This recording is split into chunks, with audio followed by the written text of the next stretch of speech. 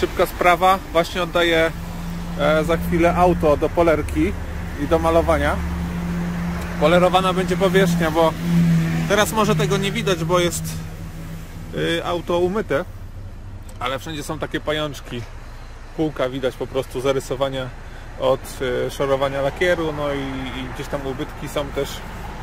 Y, I będzie malowany, przednia dokładka będzie malowana.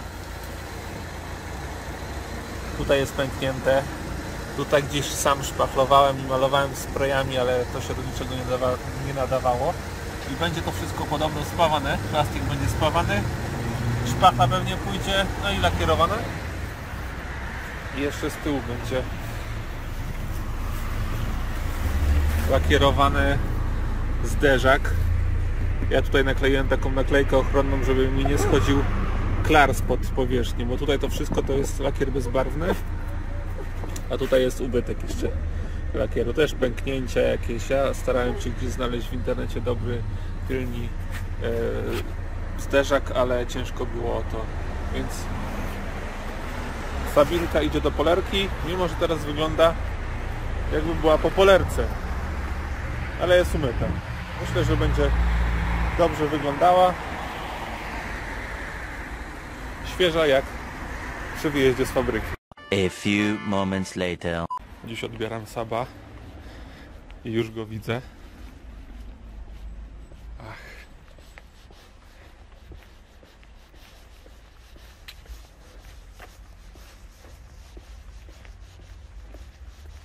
Jest laleczka.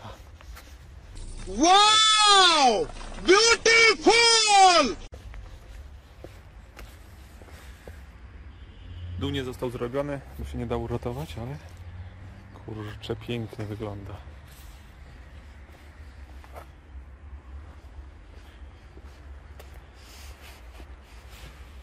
Błotnik polakierowany.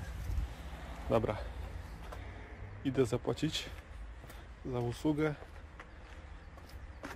i zaraz zrobię przegląd całego auta.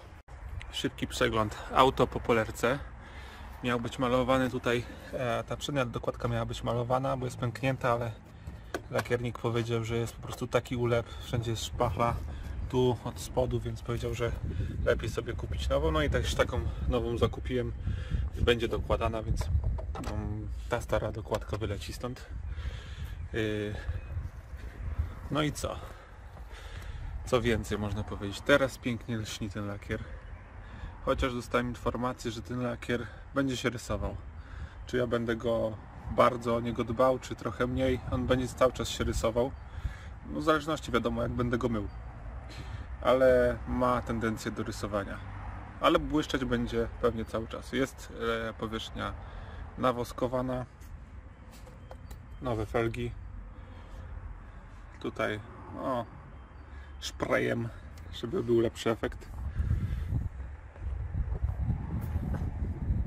Wiadomo, gdzie niegdzie są ubytki lakieru, no ale to samochód ma 19 lat. Dziewiątka odpadła, dziewiątkę dokleję i był malowany tylni błotnik, tylni zderzak. E, tutaj była wcześniej naklejka taka ochronna i później ją zerwali. Tutaj była ubytek lakieru. Może gdzieś tam pod słońce widać gdzie niegdzie, ale jest bardzo dobrze. No i teraz to auto po prostu nabrało blasku. Już nie jest taki matowy jak wcześniej. Czyli polerowanie i woskowanie.